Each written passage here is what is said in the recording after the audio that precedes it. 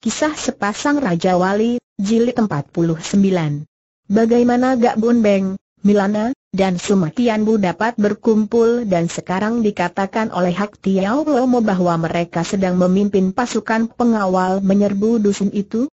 Untuk mengetahui hal ini, baiknya kita membiarkan dulu topeng setan yang sedang kebingungan itu dan mari kita mengikuti pengalaman Gak Bun Beng dan Milana. Seperti telah dituturkan di bagian depan, dengan hati seperti disayat-sayat Gak Bun Beng terpaksa meninggalkan istana Milana, bekas kekasihnya dan yang masih merupakan satu-satunya wanita yang dicintanya di dunia ini. Perih sekali hatinya ketika dia melihat kenyataan bahwa Milana juga masih mencinta dia. Bahwa wanita yang dicintanya itu ternyata hidup merana, hidup sengsara di samping suaminya itu, karena Milana tidak pernah dapat melupakan dia. Betapa akan mudahnya untuk membiarkan diri terbenam dalam kebahagiaan bersama Milana, menuruti suara hati dan dorongan keinginan yang ditekan-tekannya selama belasan tahun ini. Namun kalau dia menuruti hati dan menerima uluran kasih sayang Milana, akan menjadi orang macam apakah dia? Tidak. Ayahnya dulu terkenal sebagai seorang datuk susat, berjuluk Kang Tau Kwe Igak Liat, dan kelahiran dirinya pun adalah akibat perbuatan terkutuk ayahnya itu atas pemerkosaannya terhadap ibunya. Biarpun ayahnya seorang manusia iblis, dia harus menebus semua penyelewengan ayahnya itu dengan perbuatan yang benar. Dan kalau dia kini menuruti nafsu hatinya, merebut seorang wanita seperti Milana yang masih bersuami, berarti dia adalah samat tersesatnya dengan ayahnya. Tidak, Biar hancur hatinya, biar remuk hidupnya, dia tidak sudi melakukan hal ini dan dia telah melarikan diri dari Milana. Namun, cintanya terhadap Milana demikian besarnya, mengalahkan segala-galanya. Dahulu, selama belasan tahun dia telah mampu menekan perasaannya ini, menekan hasrat hatinya untuk bersanding dengan wanita kekasihnya. Akan tetapi, setelah kini bertemu dengan Milana, duduk berdekatan, mendengar suaranya, bahkan mendengar pernyataan cinta kasih wanita itu yang masih sebesar dahulu terhadap dirinya, mana dia mampu berjauhan? Dia tidak kuat untuk berjauhan lagi. Maka seperti seorang yang sinting tak bun beng tak pernah jauh meninggalkan kota raja, bahkan kadang-kadang dia mencuri masuk, menggunakan kepandaiannya hanya untuk menjenguk dan melihat wajah kekasihnya. Dia cukup puas hanya dengan melihat sepintas wajah yang tak pernah meninggalkan lubuk hatinya itu, lalu pergi lagi, akan tetapi tidak jauh, hanya dekat di luar kota raja, bersembunyi. Gak Bun Beng adalah seorang laki-laki yang sudah berusia 39 tahun, hampir 40 tahun dan selama hidup baru dengan Milana saja dia berdekatan dengan wanita. Dia adalah seorang perjaka, Bahkan setelah berpisah dengan Milana belasan tahun yang lalu, dia tidak pernah mau memandang wanita lainnya dan seolah-olah sudah menutupkan pintu hatinya terhadap cinta asmara antara pria dan wanita. Segala macam bentuk nafsu keinginan lahir dari pikiran. Daya tarik yang terkandung, dalam keindahan bentuk tubuh dan kecantikan serta kelembutan seorang wanita terhadap pandang mata seorang pria memang sudah sewajarnya, akan tetapi dalam daya tarik itu tidak terkandung nafsu birahi. Kalau kita kaum pria melihat seorang wanita dan kita lalu kagum akan kecantikannya, kelembutan dan keluasannya, maka hal itu hanya habis pada tingkat kekaguman saja. Akan tetapi begitu seng pikiran masuk mencampuri, pikiran membayangkan hal yang bukan-bukan, kenangan-kenangan yang pernah dirasakannya atau pernah didengar, pernah dilihatnya, maka Seng pikiran ini lalu membayangkan betapa akan senang dan nikmatnya kalau kita dapat memiliki wanita itu menjadi kawan bermain cinta dan sebagainya, maka lahirlah nafsu birahi yang pada dasarnya hanyalah keinginan untuk menyenangkan diri pribadi. Pikiran adalah diri pribadi, maka segala yang direncanakan dan diperbuat oleh pikiran selalu berpusat pada kesenangan untuk diri pribadi. Dengan kekuatan batinnya yang memang amat kokoh kuat, Gak Beng berhasil menjauhkan diri dari nafsu birahi dan tidak merasa terganggu. Akan tetapi tiba-tiba muncul Shanti Dewi dalam kehidupannya, dan sifat-sifat darah yang amat baik ini dengan kekuatan mukjizat membuka lagi pintu hatinya. Jika saja dia tidak mempunyai kesetiaan sampai mati kepada Milana, agaknya dengan amat mudahnya dia menerima uluran tangan Shanti Dewi yang jatuh cinta kepadanya karena terdorong oleh hutang budi dan kekaguman yang berlebihan. Dia sudah menolak Shanti Dewi dengan bijaksana, mengingat usia mereka, mengingat hubungan hatinya dengan Milana.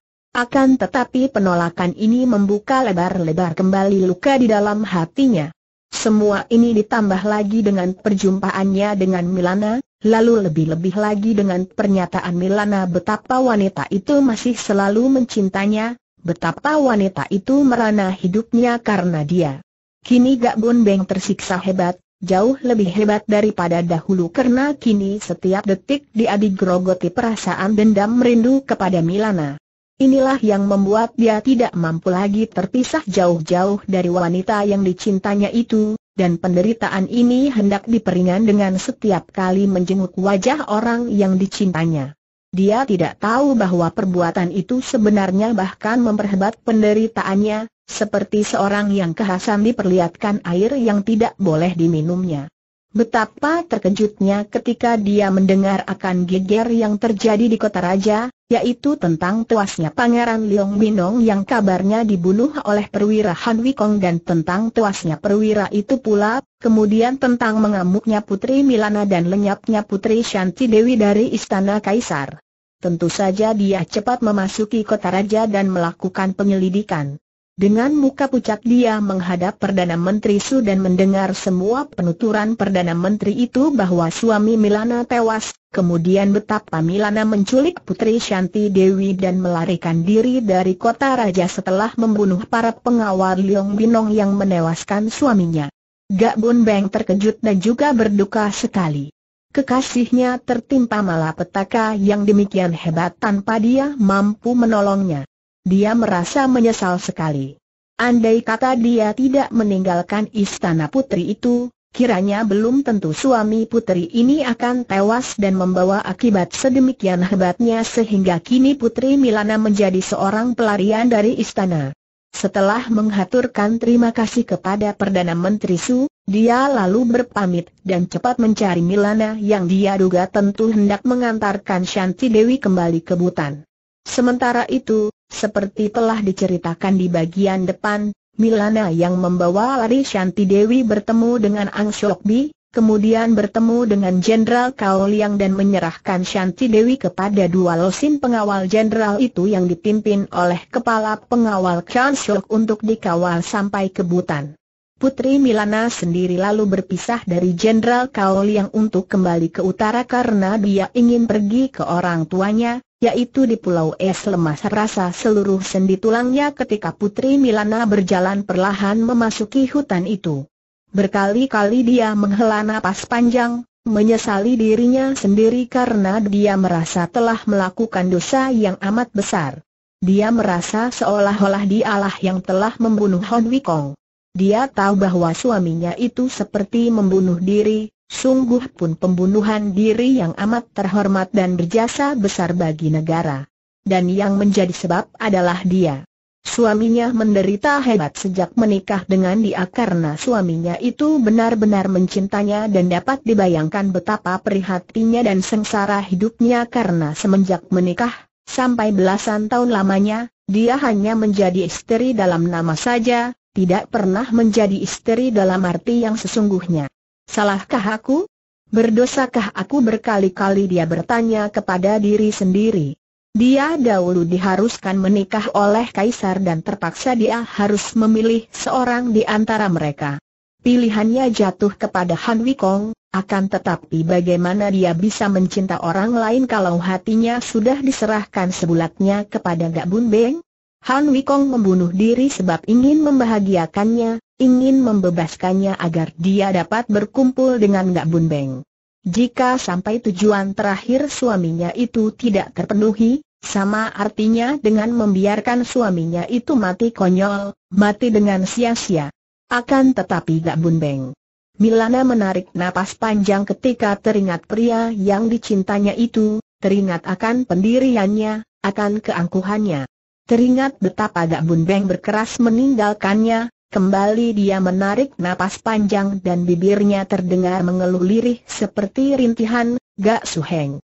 Sumoy, Suara ini memasuki telinganya seperti halilintar dan membuat seluruh tubuhnya tergetar. Wajah Milana menjadi pucat sekali dan cepat dia membalikan tubuhnya.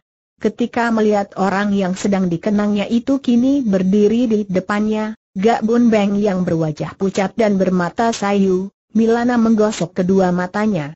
Sumoy, Milana, aku di sini, Gak Bun Beng berkata dengan suara terharu ketika melihat wanita itu seperti tak percaya akan kehadirannya, wanita yang dicintanya, yang berpakaian kusut dan berambut awut-awutan, berwajah pucat sekali akan tetapi yang kecantikannya baginya tak pernah berkurang semenjak mereka masih remaja dahulu.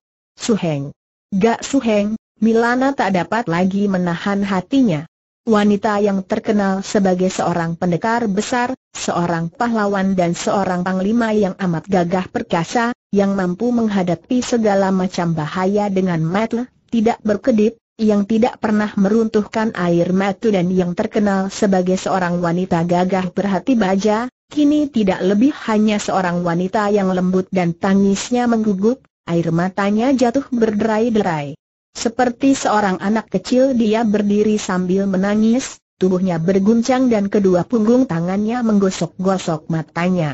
Sumoy, tenangkan hatimu, Sumoy, dengan suara gemetar Gak Bun Beng mencoba menghibur, melangkah maju dan dengan hati-hati menyentuh kedua pundak wanita itu dengan ujung-ujung jari tangannya. Sedikit sentuhan ini sudah cukup untuk membuka bendungan itu.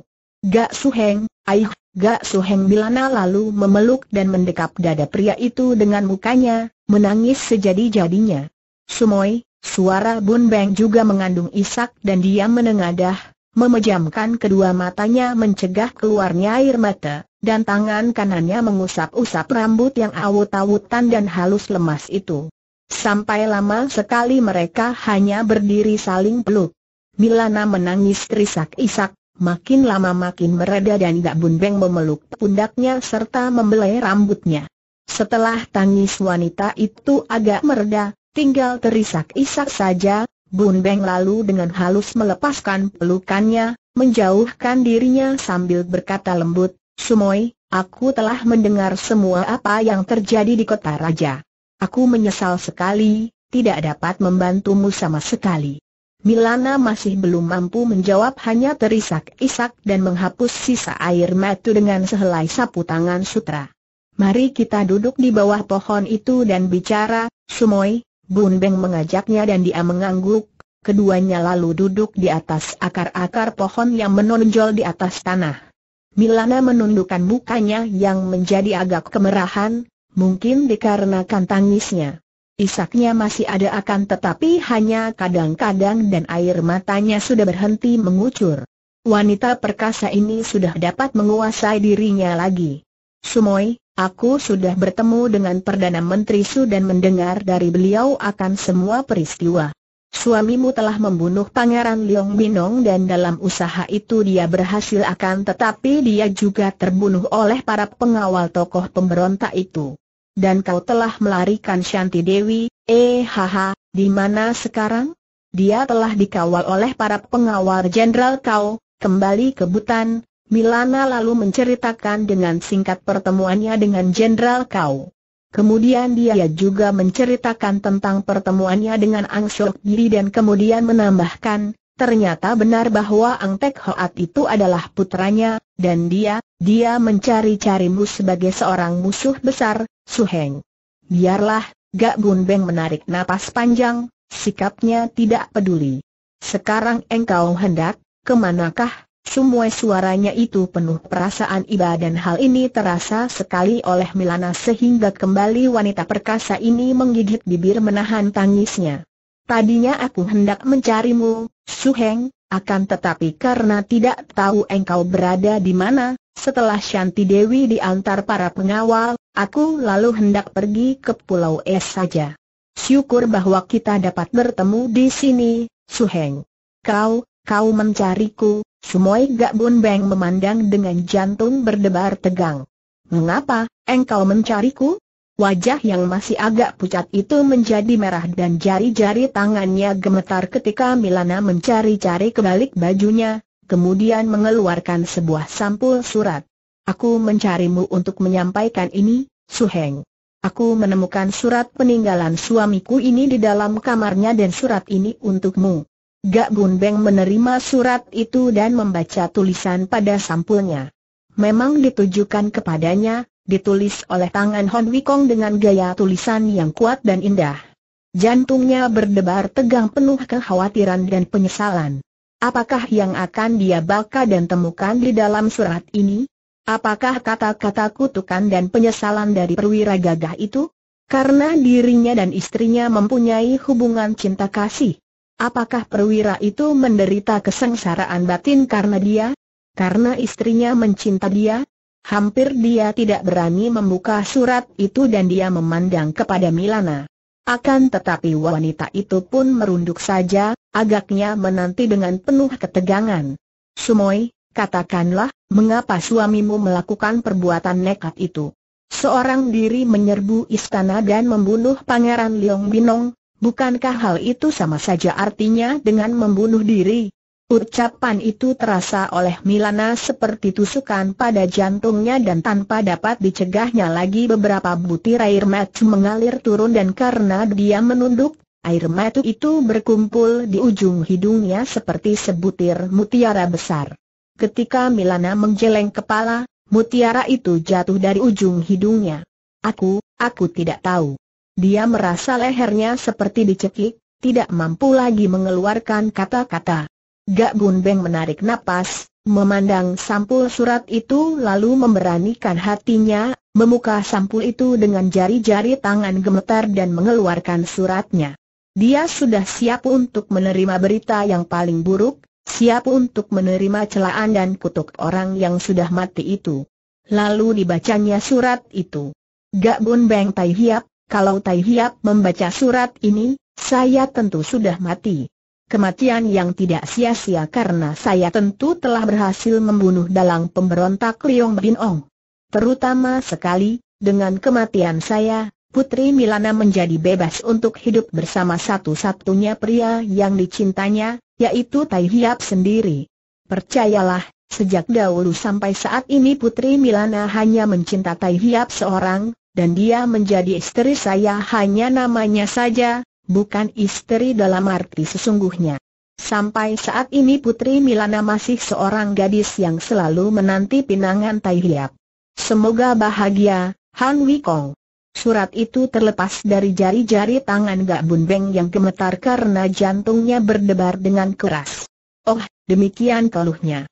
Mendengar keluhan ini, Milana mengangkat mukanya memandang. Gak Bun Beng lalu menyambar kertas itu dan menyerahkannya kepada Milana sambil berkata, suaranya gemetar, benarkah ini? Benarkah ini?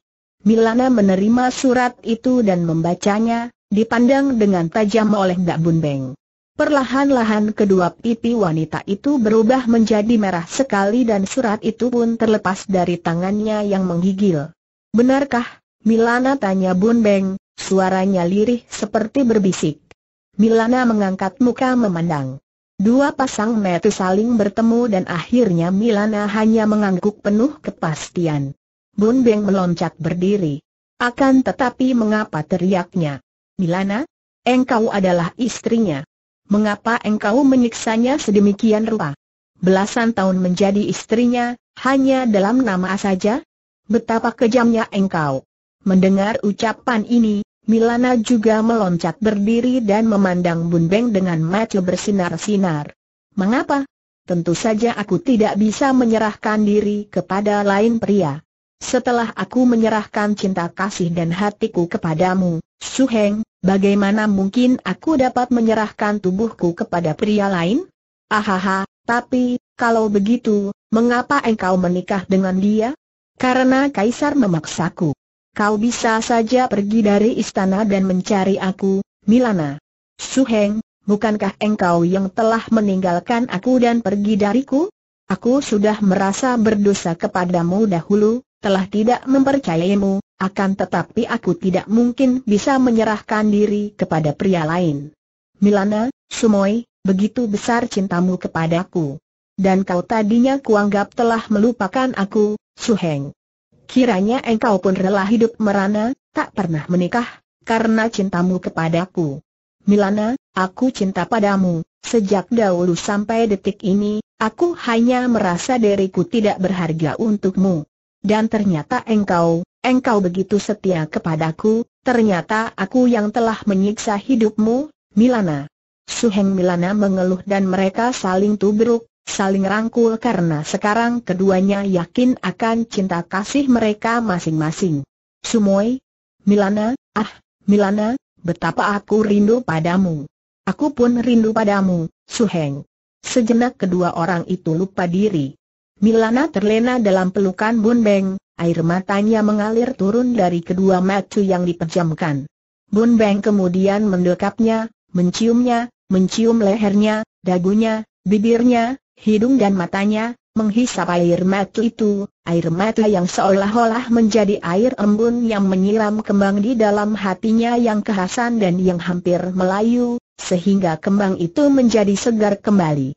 Pada saat itu dicurahkanlah segala kerinduannya, segala cinta kasihnya hingga setiap bulu di tubuhnya seolah-olah bangkit dan membelai wanita itu. Milana memejamkan matanya, merasa terayun di angkasa dengan nikmatnya. Wanita manakah yang tidak akan merasa berbahagia bahwa dia telah menundukkan hati pria yang dicintanya, merasa dibutuhkan, dicinta dan dipuja? Bisikan halus yang keluar dari bibir Bun Beng di dekat telinga, bisikan yang berkali-kali menyatakan cinta kasih yang mendalam, membuat hati Milana bangga dan bisikan itu lebih merdu daripada nyanyian surga. Akan tetapi tiba-tiba Milana melepaskan dirinya dengan halus. Kini dia memandang kekasihnya dengan bibir tersenyum dan mata yang masih basah, dengan kedua pipi kemerahan seperti wajah seorang darah remaja yang baru pertama kali menerima ciuman seorang pria.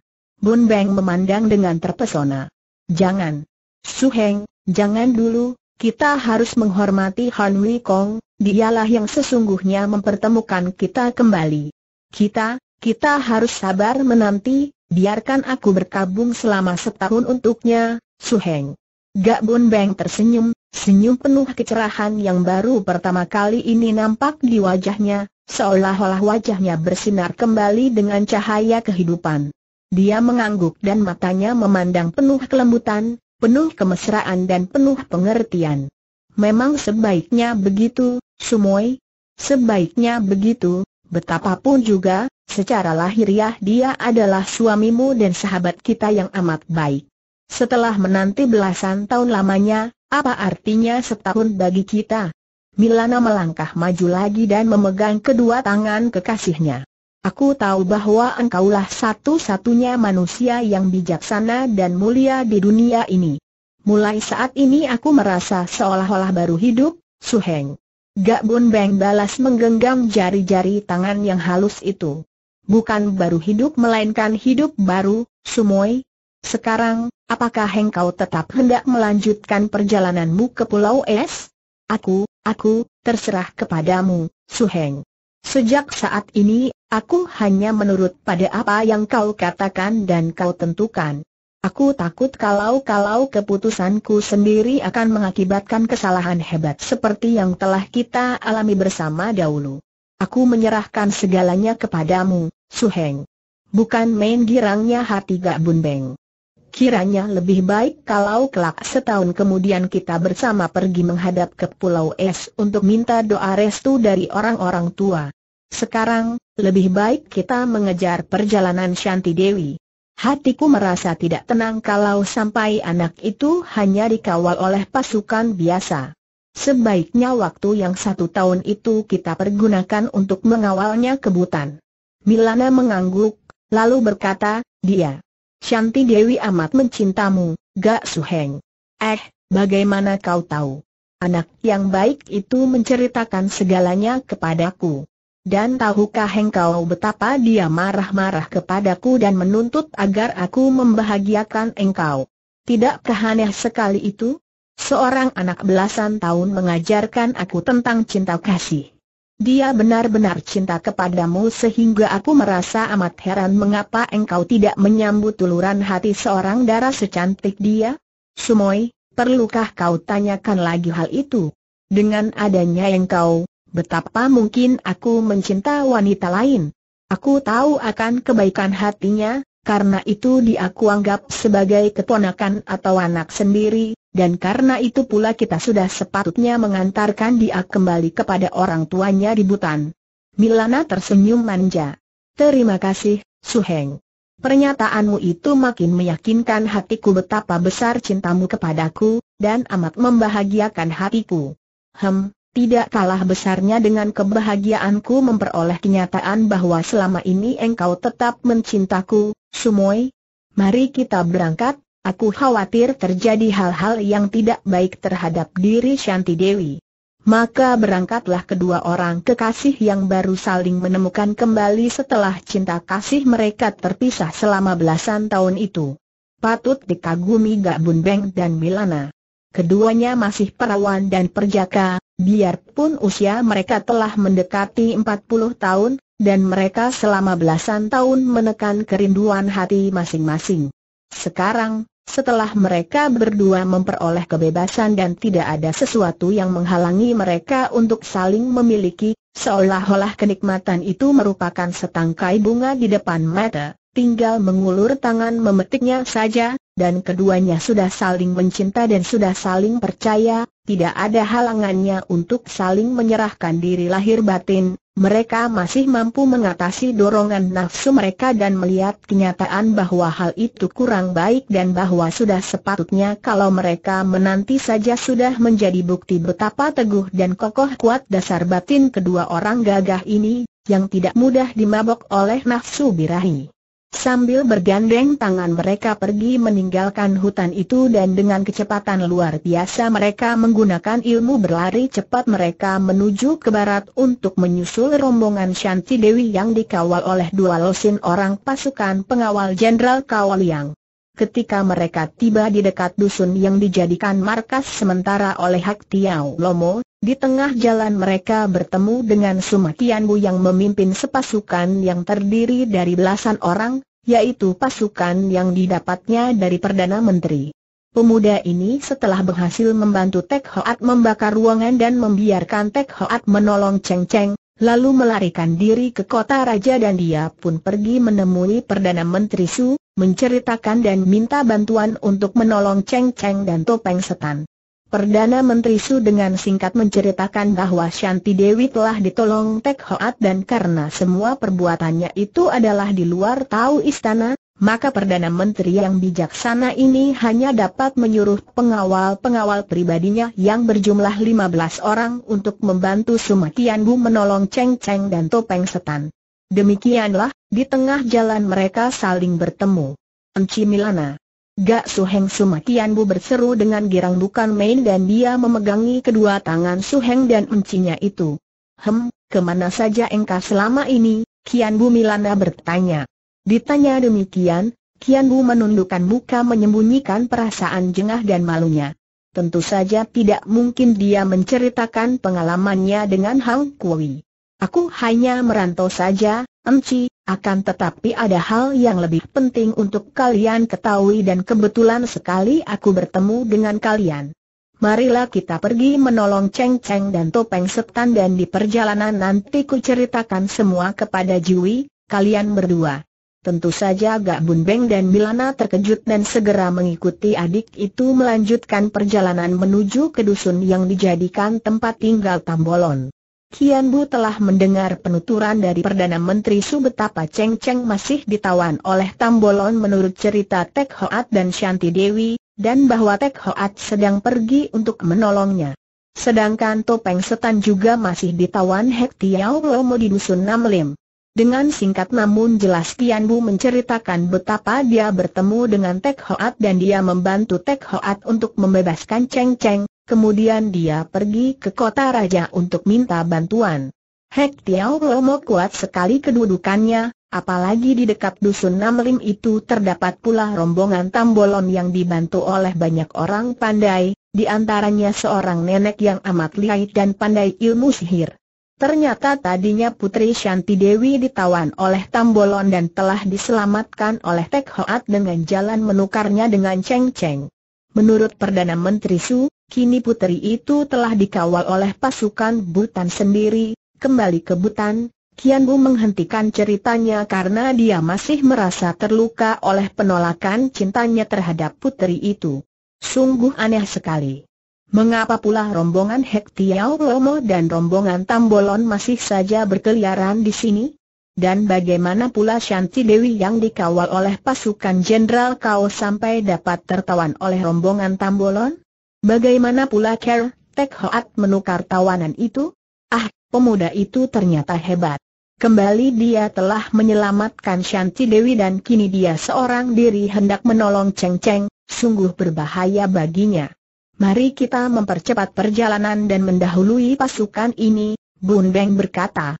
Setelah berpesan kepada pasukan itu, Kian Bu lalu bersama Milana dan Bun Beng menggunakan ilmu berlari cepat, meninggalkan pasukan dan mendahului pergi ke sarang Tambolon di mana kabarnya Cheng Cheng menjadi tawanan Raja Liar itu. Akan tetapi ternyata rombongan itu tidak lagi berada di situ. Seperti kita ketahui, akibat hasiat darah anak ular naga yang diminumnya, Cheng Cheng dapat membebaskan diri sendiri dari tangan Tambolon dan kawan-kawannya, dan rombongan Raja Liar ini pun lalu pergi meninggalkan tempat itu untuk melakukan pengejaran. Karena dusun itu kosong, maka Bun Beng lalu mengajak Milana dan Tian Bu untuk melanjutkan perjalanan ke Namlim.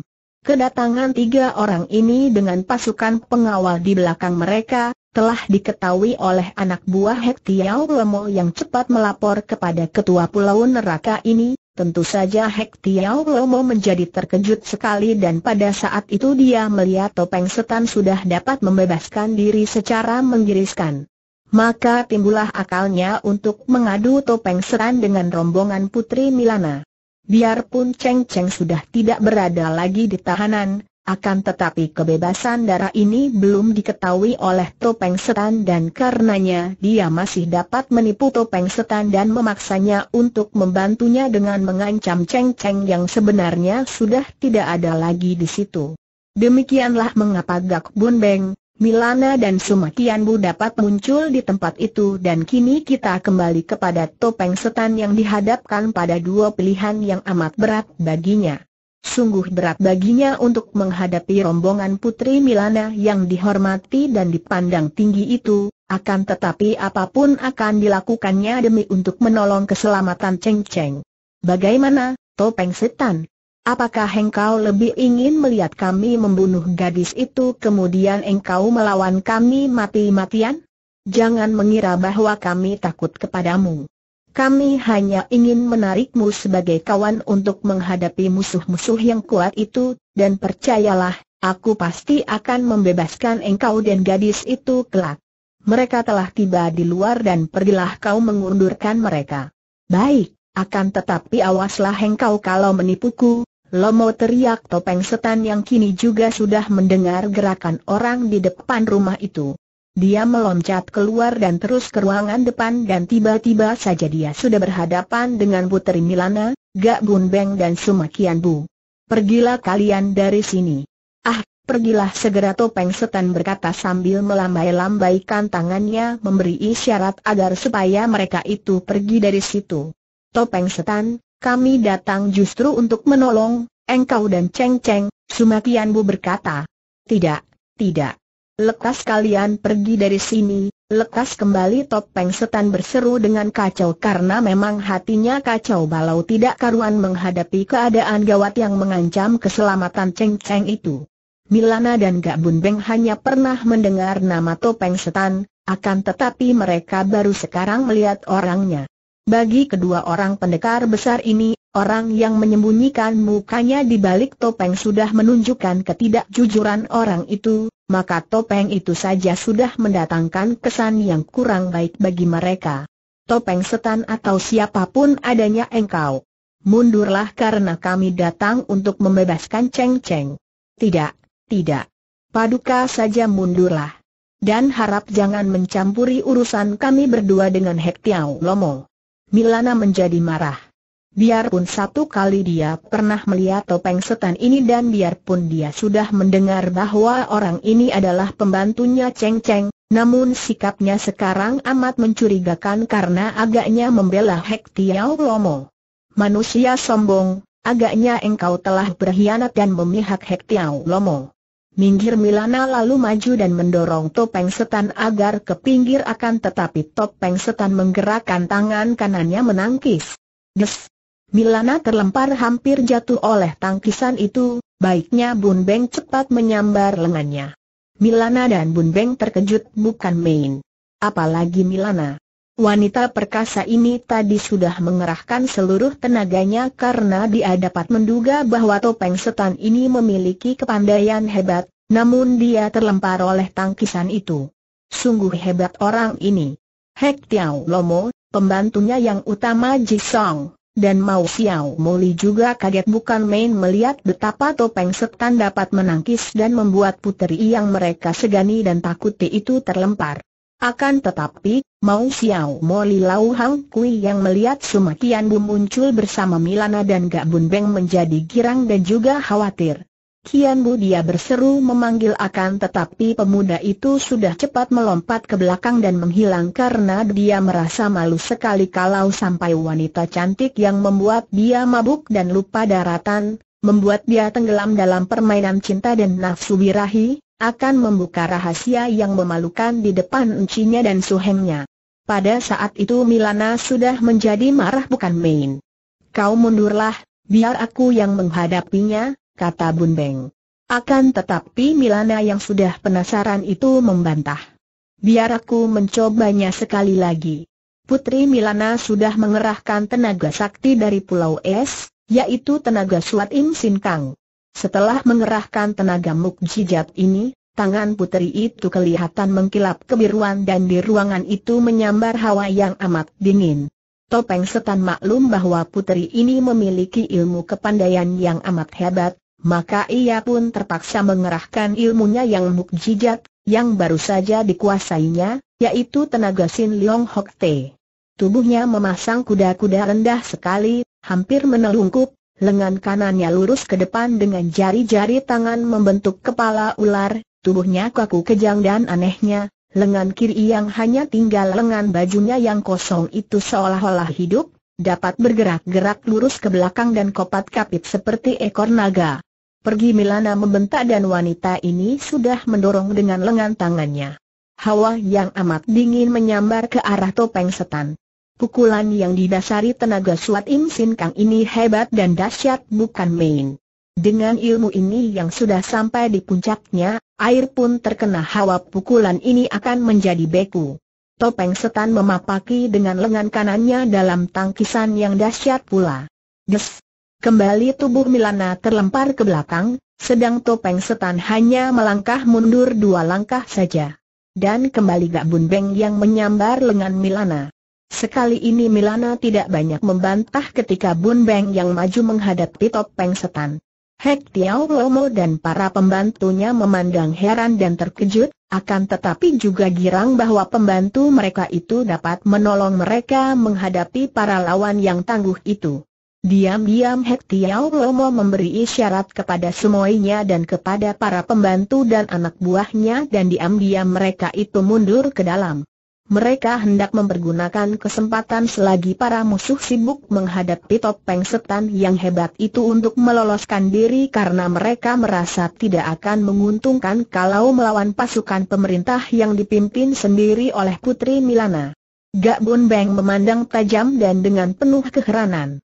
Selama hidupnya yang penuh dengan pengalaman dan pertempuran melawan orang-orang pandai, tokoh-tokoh sesat dari seluruh dunia persilatan, belum pernah dia bertemu dengan orang yang menggunakan ilmu pukulan macam yang diperlihatkan topeng setan. Penghimpunan Sinkang dengan tubuh merendah hampir menelungkup itu. Dia sendiri pernah melatih diri di bawah pimpinan Butek Xiao Jin tokoh besar di Pulau Neraka dengan singkang mukjizat yang dinamakan tenaga sakti inti bumi, yang juga pengerahan tenaganya dilakukan dengan menelungkup di atas tanah, akan tetapi sungguh berbeda lagi dengan yang diperlihatkan topeng setan tadi.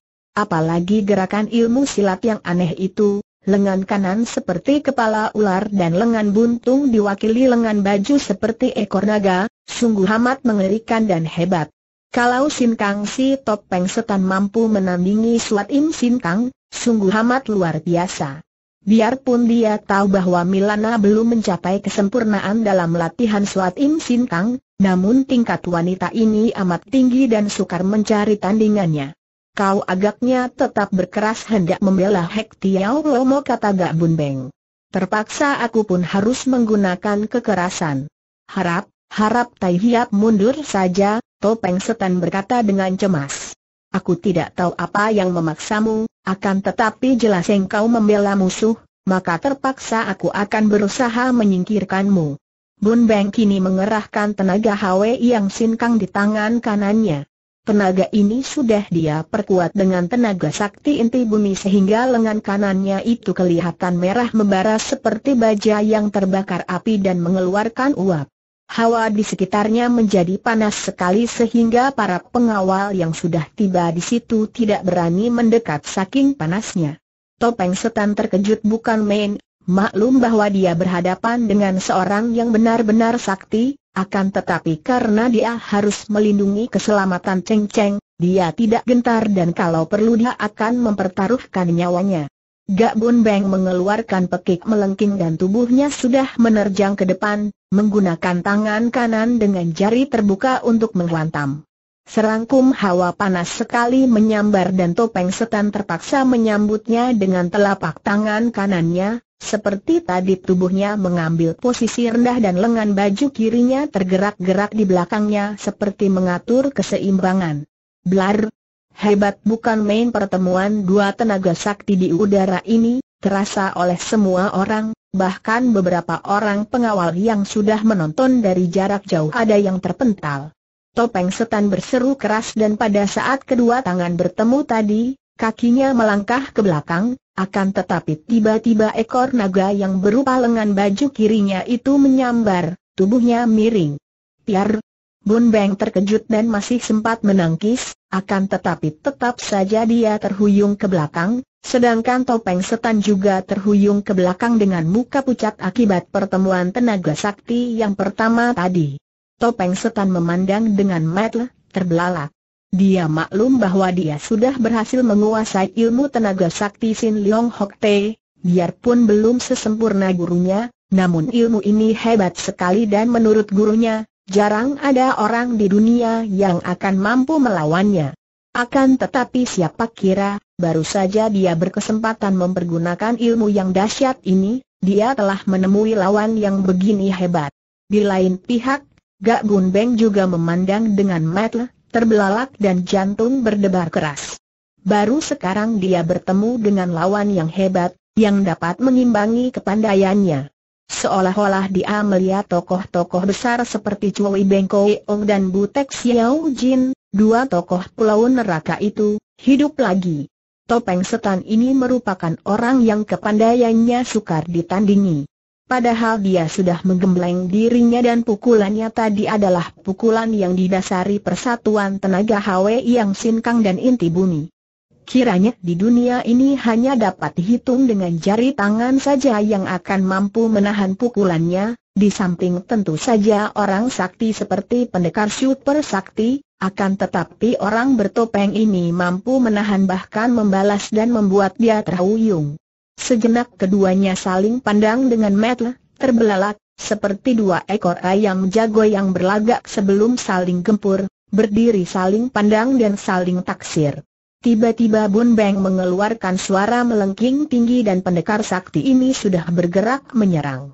Topeng setan yang sudah memasang kuda-kuda Sin Leong Hok Te menyambut dan bertempurlah kedua orang itu. Karena yakin bahwa lawannya ini memang dahsyat sekali dan tingkat kepandaiannya masih lebih tinggi daripadanya, maka topeng setan tidak berani mainkan lain ilmu silat kecuali yang baru saja dikuasainya, yaitu ilmu silat Sin Leong Chiang Hoat yang sejak dahulu memang sudah dihafalnya benar akan tetapi baru sekarang dia kuasai. Pula, ilmu inilah satu-satunya ilmu silat tinggi yang dikenalnya, yang cocok dimainkan dengan lengan tunggal, sedangkan ilmu silatnya yang lain, dahulu dilatihnya dengan sepasang lengan sehingga tentu sekarang menjadi canggung kalau dia mainkan dengan lengan tunggal. Sementara itu, menghadapi serangan-serangan yang aneh dari lengan kanan dan ekor berupa lengan baju kiri itu, Gak Bun Beng mainkan ilmu silat Kong Jiu Jiptin, dengan tangan kosong memasuki barisan, sambil mengerahkan tenaga saktinya berganti-ganti kadang-kadang dengan HWI yang sinkang, kadang-kadang dengan suat im sinkang yang amat dingin. Akhirnya Topeng Setan harus mengakui keunggulan pendekar sakti Gak Bun Beng. Dan Dam Diam Bun Beng juga harus mengakui bahwa kalau saja Topeng Setan tidak sedang terluka hebat, dan kalau saja ilmu silat aneh itu sudah dikuasainya benar, sudah terlatih matang dan banyak dipakai menghadapi orang pandai dalam pertempuran, belum tentu dia akan dapat menang dengan mudah. Kini topeng setan terhuyung dan terdesak hebat, agaknya sebentar lagi akan roboh. Topeng setan merasa heran sekali mengapa Hek Tiao Lomo dan Mau Xiao Moli tidak membantunya, Padahal kedua orang itu memiliki kepandaian hebat pula dan kalau membantunya, belum tentu dia sampai terdesak seperti ini. Ketika sebuah hantaman yang biarpun sudah ditangkisnya membuat dia terlempar ke belakang, dia menengok dan, dia tidak melihat mereka. Terkejutlah dia. Celaka, pikirnya, siapa tahu dia ditipu oleh orang pulau neraka itu. Tahan dulu teriaknya ketika Gak Bun Beng mendesak maju. Napasnya sudah terengah-engah dan keringatnya bercucuran. Tai Hiap. Puteri. Tolonglah, harap jangan serbu Hek Tiao Lomo karena, karena ceng-ceng mereka jadikan sandera. Mereka akan membunuh ceng-ceng kalau saya tidak melawan Jiwi, maka terpaksa saya melawan agar ceng-ceng dibebaskan. Mendadak terdengar suara teriakan, Paman. Kau sudah mati-matian membelaku. Aku telah dapat lolos, Paman. Kemudian Cheng Cheng membalik, menghadapi Gak Bun Beng dan Putri Milana dengan kedua tangan terkepal. Paman Gak Bun Beng dan Bibi Putri Milana. Kalau kalian melanjutkan mendesak dan menyerang Paman Topeng Setan, terpaksa aku akan menentang kalian. Husih. Cheng Cheng, jangan kurang ajar kau terhadap mereka. Gak Tai Hiap, celaka, kita telah diadu domba dan ditipu oleh Hak Tiao Lomo kata Topeng Setan. Akan tetapi Cheng Cheng yang kegirangan melihat topeng setan tidak mati seperti yang dikhawatirkannya itu, sudah lari dan menubruk, merangkulnya dengan penuh girang dan kebanggaan.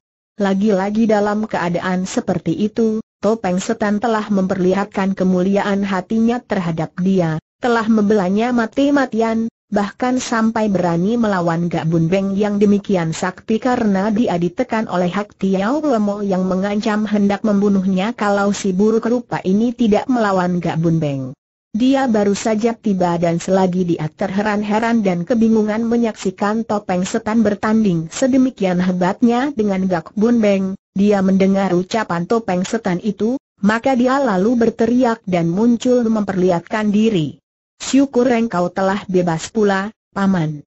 Betapa aku amat mengkhawatirkan dirimu, Paman, katanya. Dan kau, bagaimana kau dapat bebas? Cheng Cheng Topeng Setan bertanya dan mereka lalu bicara dengan asik, tanpa mempedulikan Milana dan Gak Bun Beng yang sudah menerjang ke dalam.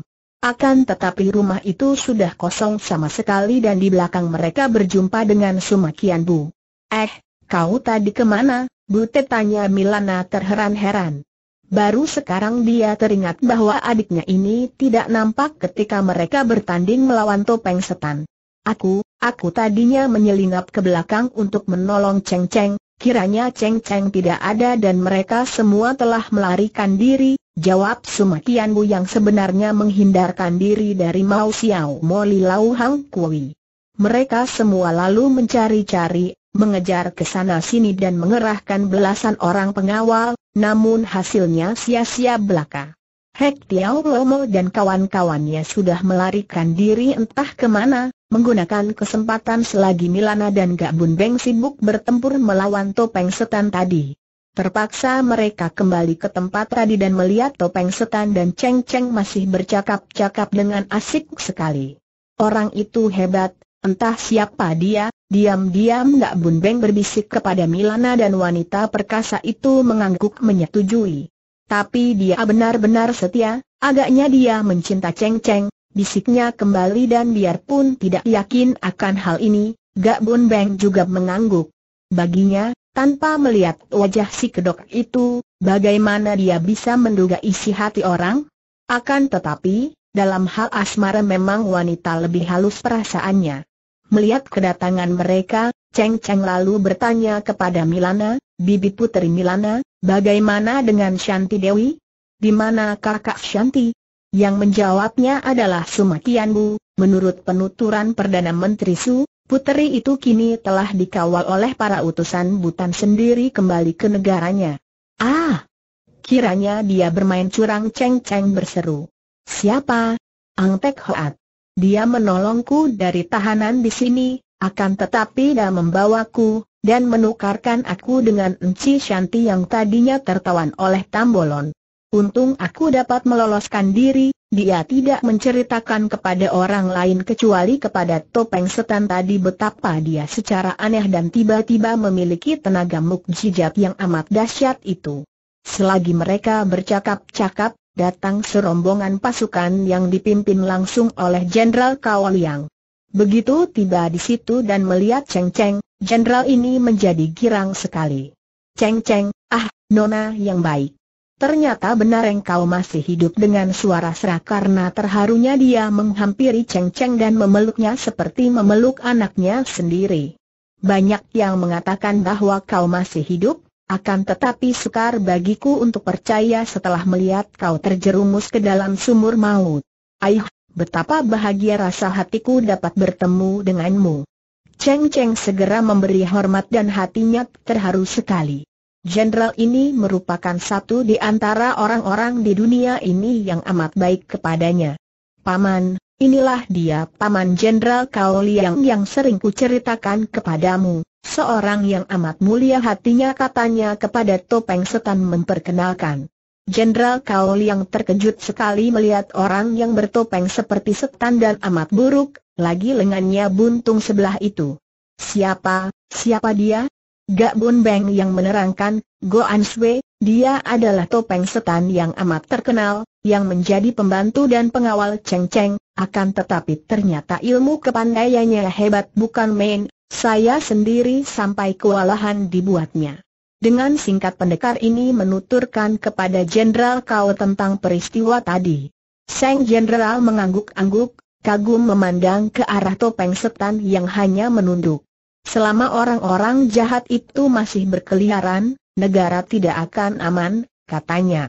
Setelah kini pemberontakan dapat terbasmi, para kaki tangan pemberontak harus dibersihkan karena jelas bahwa mereka tidak mau insyaf dan melanjutkan kejahatan mereka. Saya akan mengerahkan semua kekuatan untuk membasmi mereka, lalu kepada Cheng Cheng dia berkata, harap engkau suka ikut bersamaku dan singgah di rumahku karena banyak hal yang harus kubicarakan denganmu, anak yang baik. Cheng Cheng hanya menoleh kepada topeng setan yang masih menunduk saja, Hatinya bimbang karena dia tidak mau berpisah lagi dari topeng setan, akan tetapi menolak permintaan jenderal yang amat baik hati itu pun dia merasa tidak enak.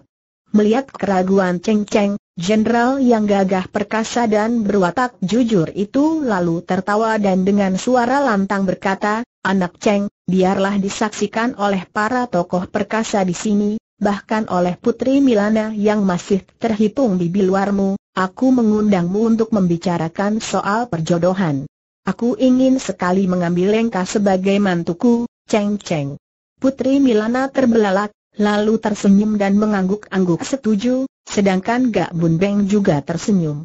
Dia sudah mendengar bahwa putra sulung jenderal ini, yang tadinya lenyap, kini telah pulang dan telah menjadi seorang pemuda yang amat lihat dan telah membantu pelaksanaan penghancuran para pemberontak.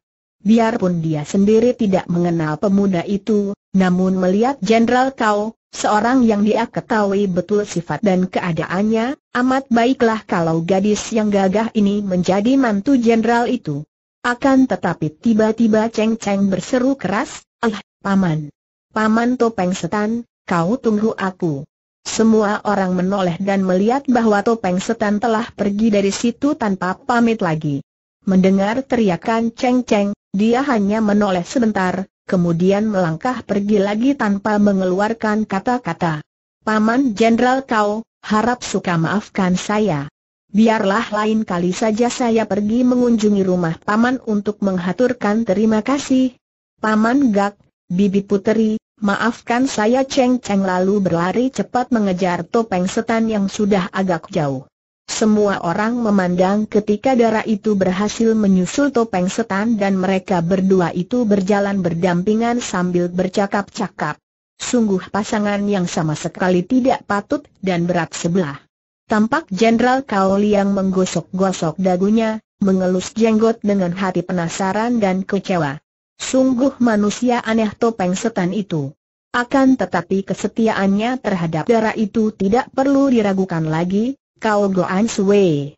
Karena itu tenangkanlah hatimu, darah itu tidak akan dibiarkan mengalami malapetaka.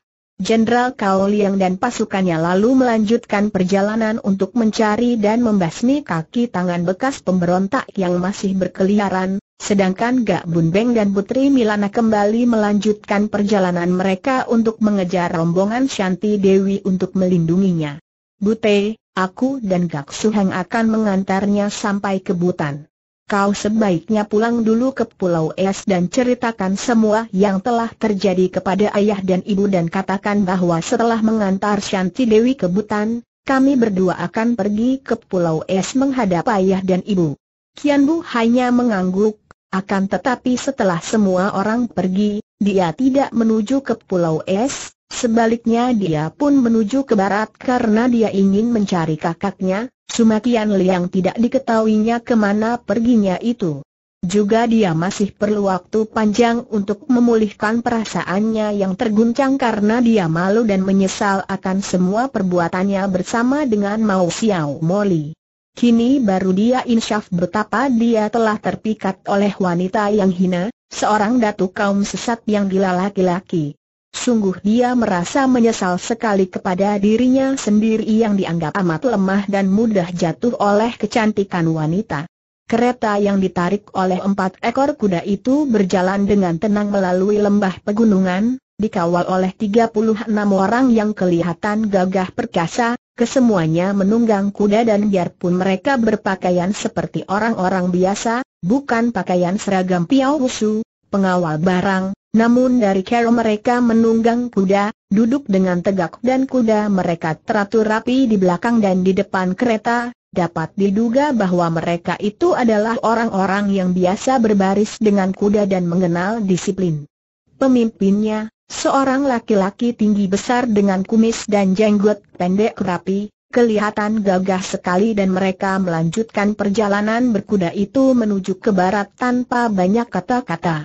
Kereta itu sendiri amat besar, tidak seperti kereta biasa, agaknya kereta yang khusus dibuat untuk keperluan itu.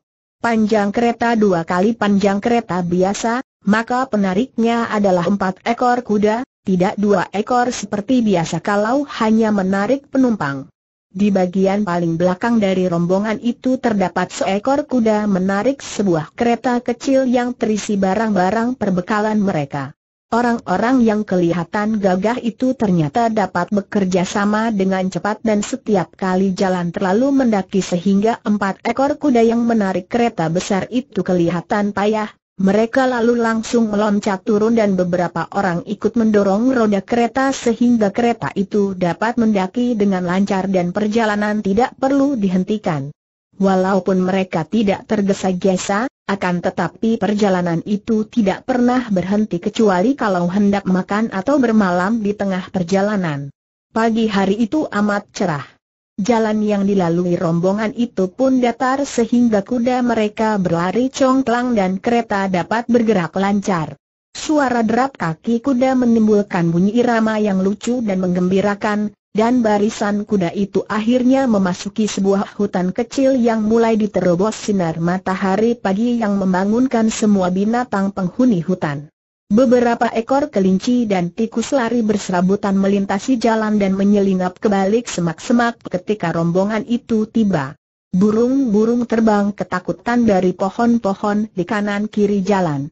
Kuda-kuda mereka agaknya merasa gembira pula tiba di dalam hutan di antara pohon-pohon dan daun-daun segar. Beberapa di antara mereka meringkik dan mendengus, agaknya bau daun-daunan dan tanah yang sedap menimbulkan gairah dan kegembiraan mereka. Tentu saja jauh bedanya dengan bau pengap di kota-kota dan dusun-dusun yang penuh manusia. Akan tetapi, selagi rombongan yang terdiri dari 36 orang termasuk kusir kereta dan komandan rombongan itu menjalankan kuda dengan hati tenang gembira, Tiba-tiba terdengar bunyi berdesing dan tahu-tahu tiga batang tombak menancap di tengah jalan di depan si pemimpin. Cepat pemimpin rombongan ini menahan kudanya, mengangkat tangan kiri memberi tanda agar rombongan itu berhenti. Kemudian beberapa orang pembantunya melarikan kuda dari belakang ke depan dan lima orang pemimpin rombongan yang berkuda itu berjajar memenuhi jalan sambil memandang ke arah tiga batang tombak yang masih menggetar di atas tanah itu. Mereka menyangka bahwa tentu ada perampok-perampok yang bosan hidup berani menghadang mereka. Akan tetapi ketika dari balik pohon-pohon besar muncul seorang kakek tinggi besar bersama seorang wanita cantik dan di belakang mereka terdapat belasan orang yang dipimpin oleh seorang kakek gendut tinggi besar, rombongan berkuda ini menjadi terkejut sekali. Andai kata benar mereka itu perampok, tentu bukan perampok-perampok sembarangan. Orang-orang yang datang bersama kakek tinggi besar itu adalah orang-orang yang berwajah menyeramkan sekali, seperti setan-setan karena wajah mereka itu samar-samar masih membayangkan warna-warna bermacam-macam, ada yang kehijauan dan ada yang kemerahan. Hai, rombongan yang sedang melakukan perjalanan, jangan kalian takut, kami bukan perampok. Ketahuilah, kami adalah orang-orang Pulau Neraka dan aku adalah Hak Tiao Lomo.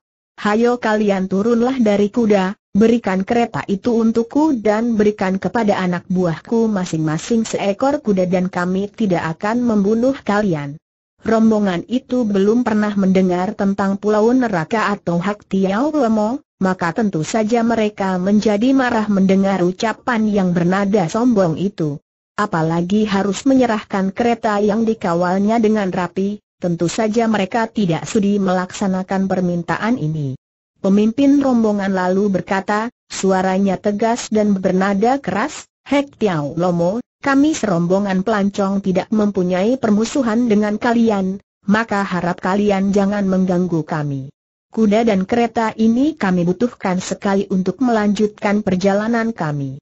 Akan tetapi penolakan kami bukan berarti bahwa kami pelit. Nah, sedikit emas dan perak ini kiranya cukup bagi kalian untuk membeli kuda. Setelah berkata demikian, pemimpin rombongan itu melemparkan sebuah kantung kecil ke arah Hak Tiao Lomo. Kakek ini menerimanya dan merobeknya, sehingga isinya yang berupa potongan-potongan emas dan perak berhamburan ke atas tanah. Hahaha, ada orang berani memberi sedekah kepada Hek Tiao Lomo. Penghinaan ini selama hidupku belum pernah kuterima. Jisong, hajar mereka perintahnya kepada pembantunya yang selama ini tidak pernah ketinggalan memimpin para anak buahnya. Jisong, kakek gendut tinggi besar, segera berteriak memberi aba-aba dan majulah belasan orang anak buah pulau neraka itu menyerbu. Akan tetapi pemimpin rombongan itu pun memberi aba-aba dan bagaikan prajurit-prajurit yang terlatih baik, Para anak buahnya juga meloncat dari atas kuda dan menyambut serbuan itu sehingga terjadilah pertempuran yang seru. Akan tetapi betapa kaget hati pemimpin itu menyaksikan kehebatan pihak lawan, terutama kakek gendut tinggi besar. Maka dia sendiri bersama empat orang pembantunya lalu meloncat turun dan disambut oleh wanita cantik itu sambil tertawa-tawa. Wanita cantik itu bukan lain adalah Mao Xiao Moli. Seperti telah diceritakan di bagian depan, Hek Tiao Lemo yang telah kehilangan Cheng Cheng, menggunakan siasat adu domba ketika dia diserbu oleh pasukan pemerintah yang dipimpin oleh Putri Milana dan Gak Bun Beng, dan menggunakan kesempatan selagi topeng setan melayani mereka, dia lalu mengajak semuanya itu dan semua anak buahnya untuk meloloskan diri. Mau Xiao Moli penasaran sekali karena kehilangan Kian Bu, pemuda yang amat memuaskan hatinya itu, sedangkan Hek Tiao Lomo penasaran karena kehilangan Cheng Cheng. Mereka terus mencari ke barat dan di hutan itu mereka bertemu dengan rombongan berkuda itu yang hendak mereka rampas kereta dan kudanya agar perjalanan mereka lebih lancar dan cepat. Biarpun dikeroyok oleh lima orang pimpinan rombongan itu, Mau Xiao Moli masih melayani seenaknya saja. Untung bahwa lima orang pemimpin rombongan itu adalah laki-laki yang gagah perkasa dan rata-rata berwajah tampan menarik. Laki-laki muda tampan dan menarik merupakan kelemahan Mau Xiao Moli sehingga hati wanita ini tidak tega untuk membunuh mereka. Dia hanya mempermainkan mereka, menangkis senjata mereka dengan pedangnya yang bersinar hijau, sedangkan jari-jari tangan kirinya tidak hentinya mencolek sana-sini di tubuh kelima orang lawannya itu sambil mengeluarkan kata-kata pujian yang membuat lima orang itu terkejut, terheran, akan tetapi juga menjadi muak. Hem, Sumoy, apakah pada saat begini sudah kumat lagi penyakitmu gila laki-laki? Hayo kau bunuh mereka agar lebih cepat urusan ini bereseriak Hek Tiao Lemo yang duduk di bawah pohon menonton pertempuran. Dia sendiri merasa terlalu tinggi untuk melayani orang-orang yang kepandaiannya tidak berapa tinggi itu dan dia mendongkol menyaksikan semuanya yang mempermainkan lima orang lawannya. Hai hai hik, baiklah, Suheng. Wah, sayang sekali, aku terpaksa harus merobohkan kalian, orang-orang ganteng. Mau Xiao Moli tertawa dan pedangnya lalu berubah berkelebatan menjadi gulungan sinar hijau yang amat cepat. Lima orang lawannya terkejut sekali dan mereka pun menggerakkan senjata mereka untuk membela diri, akan tetapi biarpun mereka sama sekali tidak dapat menyerang dan hanya mempertahankan diri, Tetap saja mereka terhimpit dan terdesak hebat oleh sinar hijau itu dan agaknya pertahanan mereka tidak akan berlangsung lama.